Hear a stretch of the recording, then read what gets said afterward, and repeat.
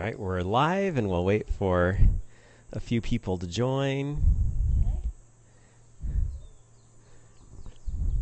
We're in very sunny and warm Tucson, Arizona this week at the Arizona K 12 Center's Tech Camp. And we have 125 teachers here that are uh, involved in different learning strands. Uh, we have making infographics, uh, uh, making your websites awesome, and another strand where they're making task cards. And I'd like to introduce you to Kat Barrett. Hi. Hi. and uh, I thought we'd talk to her about what she's learning in a strand called uh, Making Your Work Published. So uh, I'll give you the microphone. Perfect. I came to camp kind of with a purpose. Um, over at Betty Fairfax High School, it will be December of 2015, we're going to be coming up with a STEM project working with our ELL student population. And currently I'm with John, um, both Johns, John uh, Spencer and John Samuelson, who are on Twitter too, and they're teaching us wonderful information. In this first one, we have um, John showing us the four different types of blogs to write. And the one that I'm hoping to accomplish will be the expert and the advocacy as we kind of blend a little bit of the uh, Genius Hour in with a STEMS type project that we'll be doing and hopefully bringing forth that research. So learning this um, strand, I'm learning what's needed in a blog, and you need to have a catchy title, of course, and um, the proper grammar. And so the students will actually be writing this project and what they're learning during the STEMS project that we're working with. And of course, I have a picture of the lovely resort because everyone here is all about relax mode. So you can't get frustrated, which is helpful because I've never written a blog or been published before. And so you need to relax, remember, take deep breaths. Tomorrow, we're going to be venturing into podcasting and we're going to be learning how to connect those reader theater moments, which with our ELL population is always important because of those multiple meaning of words. And so on the podcast, it's going to be real interesting to hear in December what the students are learning with their STEM project based on this application that we're going to take forward with their publishing. And we have John um, Samuelson working with he's formerly iPad Sammy. Yes. Maybe, maybe you remember him as, as that. He's John Samuelson. He's the host of the Techlandia podcast. Yes, and that's the great thing is because you have two co-facilitators in the room, and he's very organized with the lists, which is great for me because I'm always like I need to know where I'm at, and he's perfect. And then you have John Spencer, who's very um, what do I want to call that? He's very geometric and abstract thinker, and I'm just like, just give me another John. And so I breathe deep with my list. And here's a checklist that we have about our progress, about where we're going to be at each step of the way for each day. So it's self-paced, which I love, and I'm going to take that back and embed that with the students too, because what's modeled here is carried out in the classroom. And that's just ever important because it's a professional manner and it helps me reflect where I'm at, where I'm headed to the next day, where I need to be on Friday, and how I can take this into the classroom. And my principal, Phil Woolley, will be so happy because I'll be organized and he'll have his continuous improvement plan ready to go with our ELL students and our number scoring. But um, not just that, we also will hopefully connect with other districts outside of Phoenix Union. And we're looking at Agua Fria to connect with, we're looking at Fountain Hills to connect with with this project.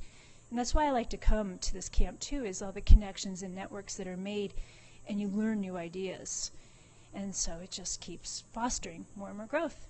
So this is my seventh year here. That was, the, that was my know, question. yeah. How many years have you been at, at camp? This is uh, Camp Plug and Play 10.0, so it's been 10 summers that uh, the Arizona K-12 Center has offered this camp, and I'm really lucky that I've been part of every single camp they've had.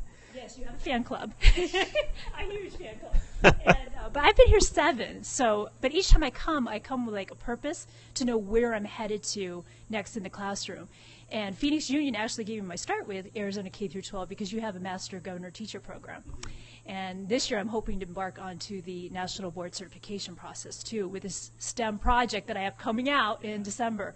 And I'm hoping that that project will leap start other people who are kind of unsure of how to use STEM in the classroom with ELLs with that focus. That's awesome. Let's in charge. Let's hear. Let's turn around. You never want the light to be uh, there now. We, now they can see Oh, us. Yeah, really, really good. um, so th- they've been giving you hearts the whole time. Oh, thank you, thank you, thank you, Sarah. yeah, yeah. Less glare. So, so um, any questions for Kat here? Let me give them time to type. Yeah, yeah. Yeah. Follow me on Twitter. yeah. And the title of this broadcast is her Twitter name, which is. it's Readers Lead PD. Read, yeah, sorry, Readers and Lead PD. Yeah, Gotcha. You can find me under Tony too. Yeah. yeah, and she's been doing a lot of tweeting for our hashtag for Camp Plug and Play, which is hashtag AZK12.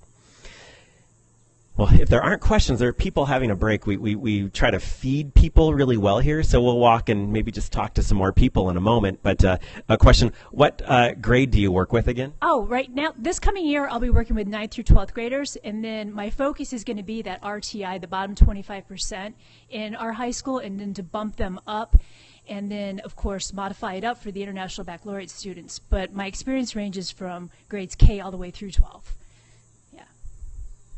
That's great.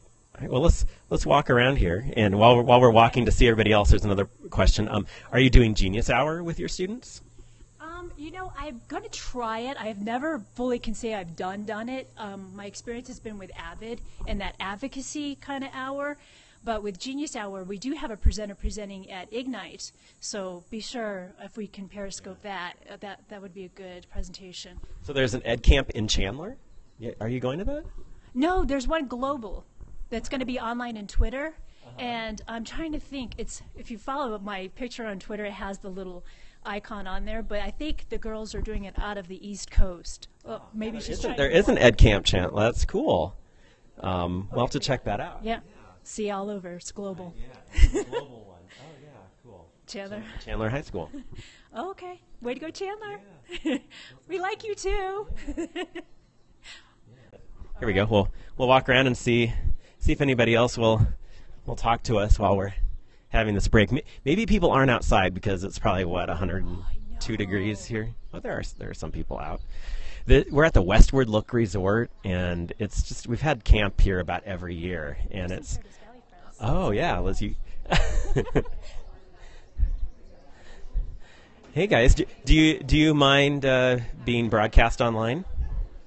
All right. Uh, so we have about 23 people here uh, watching, and uh, they're learning a little bit about Tech Camp, and they just just learned all about Kat and some of the things she was doing. Um, y- you want to introduce yourself and uh, tell us something you've learned from camp? My name is Meg Cullum. Um, I'm a fifth, fifth grade teacher. Um, sci- yeah, it is um, science, and I just think I'll really be able to use some of the things I've learned uh, in terms of like blogs and a, a newer website. Because I'm realizing mine is in pretty bad shape right now. Don't you think? You guys think it's a little, yeah. Um, Websites are I, they're always a work in progress. so I will modernize it now, and I have the tools to do that. So that's great. Oh, that's awesome. Well, I'm glad you're here. And fifth grade's a good grade. That's that's what I taught. and you, what what's better, the cookie or the pretzel? The cookie is better. Okay. All right. Um, how how about you? Tell us who you are and uh, what have you learned so far this week? Patty McFeely, and um, I teach six. And I'm using finding ways, as Meg said, also to find find new ways to utilize my websites and stuff, and to try utilizing the students more, having them do more creating, as opposed to me dictating what they have to do. Yeah. There's a- In, in, in my website, when I taught fifth grade, at the time, everybody was naming their websites like Mr. Vincent's fifth grade. And so I made sure to call it something completely different. I didn't want it to just be mine, I wanted the students to have ownership of it. Yeah. For- All right. And tell us who you are and, and what have you learned this week? I'm Jennifer, and I'm a media teacher in Paradise Valley, and I'm learning ways to get my kids' work out there for people to see and look at, to make it something important and valuable for them. And, and what's one way to get it out? Oh, blogging. Um, we've got this excellent teacher over here, John Spencer, and he's showing us some really cool ways to make it authentic. So, so John, I want to do a whole separate Periscope with you one day, but I know if people see you on here, they're going to want to want to hear something. Um, tell us what you've taught people today. Um, my hope is that they have been able to just kind of experiment with creating their own blog slash website, um, and um, that they've been thinking a little bit differently about um, kind of reaching an authentic audience. Sounds like you've done that. Authentic teachers. That's right. well, our break time is almost done here. Uh, we'll is uh, is John on Twitter? Yes, and it's at Spencer Ideas now, right? Yeah, it used to be Ed Rethink, and now it's Spencer Ideas. So check him out. He has really great stuff, and we'll, if, if I can twist his arm, we'll be we'll be talking to him and the other John, John Samuelson, in another broadcast. it this is a new iRig microphone. Yeah, it's HD. Yeah, not just regular D, HD. All right. well, we'll see you later.